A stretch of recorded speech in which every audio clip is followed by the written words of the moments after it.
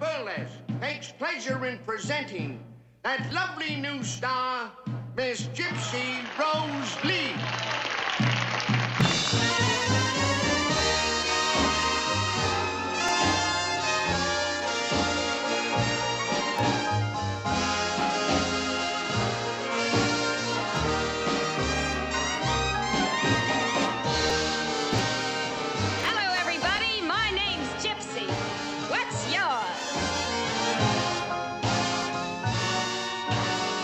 Música